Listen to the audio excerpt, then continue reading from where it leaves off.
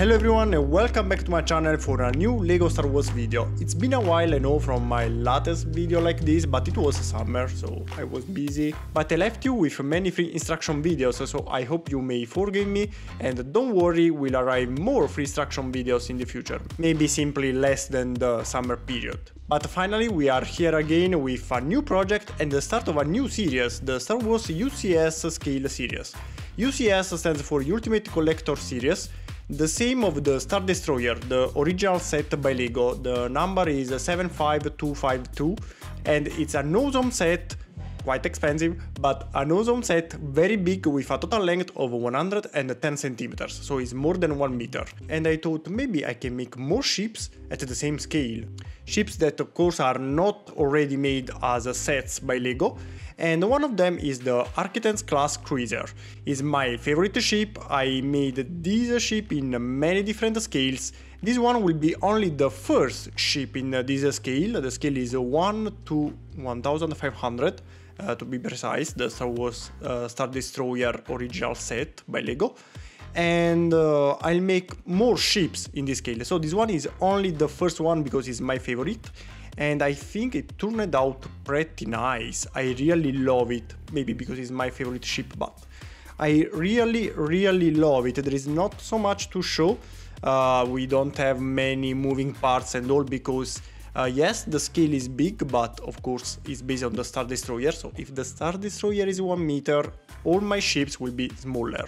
So I will never make a Star Destroyer, only smaller ships. For example, the CR-90, the Corvette, the Nebulon for the Rebels, maybe we have the uh, Quasar uh, class carrier. You, you can name more of them if you want.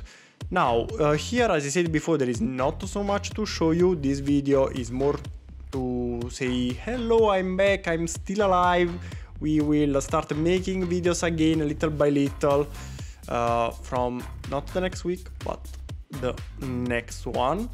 And what I can show you here are the little details like the cannons that of course uh, you can rotate. Here we have cannons on the bottom here as well. Here we have the hangar for the TIE fighters. Uh, here on the back we have the engines, main engines and the four smaller engines.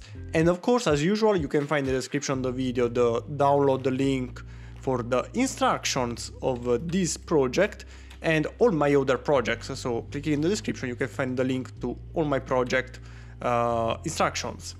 Not only that, but you can find also clicking in the right up corner and description of the video a playlist with all my Star Wars projects and and check just next to the name the scale. I always leave the scale in the title so you can check um, the dimensions of the project.